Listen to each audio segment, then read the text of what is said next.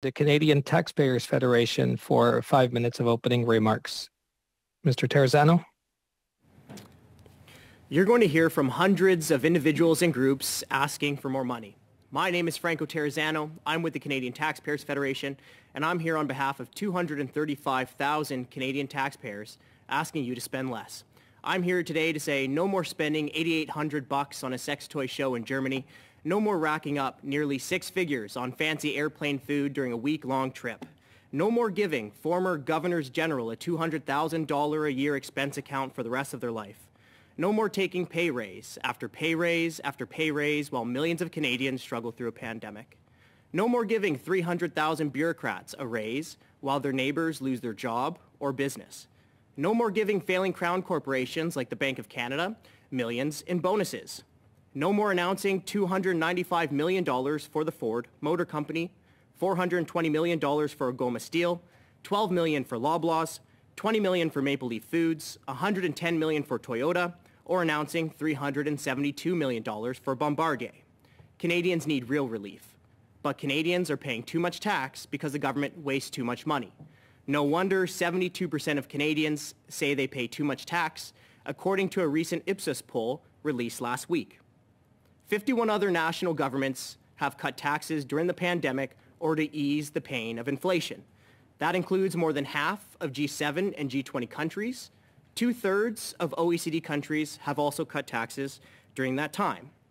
While other countries cut taxes, Ottawa sticks Canadians with higher tax bills. The government has increased gas payroll taxes, and alcohol taxes. The government is getting ready to impose a second carbon tax next year through fuel regulations. But Canadians cannot afford higher taxes, and we can't afford to waste more money covering interest charges on the government's credit card. The government isn't scheduled to balance the budget until 2041 under the current trajectory. That's according to recent PBO data. Interest charges over that period will have cost taxpayers 800 billion dollars by 2041. That's a cost of $18,000 for every Canadian and is hundreds of billions of dollars that can't be used to improve services or lower taxes because that money is going to the bond fund managers on Bay Street. But there is some good news. The government could balance the budget next year. The government could also reverse its tax hikes, and the government could do that by bringing program spending back to the pre-pandemic and all-time high levels of 2018-19 adjusted upward for inflation and population growth. In 2018-19, the government spent more money than it did during any single year during World War II, even after accounting for inflation and population differences. That means the government overspent for years. So finding savings in every area of the budget should be like finding water in the ocean. Fortunately, we're now hearing the finance minister say that if politicians want to fund new programs and spend more money, they're going to have to find savings in other areas of the budget. And spending buckets of extra cash would only be pouring gasoline on the inflation fire.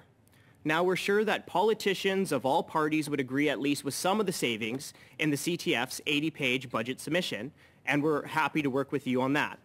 Because Canadians are struggling, Canadians can't afford any more taxes, any more tax increases, and Canadians can't afford to waste more money on interest charges.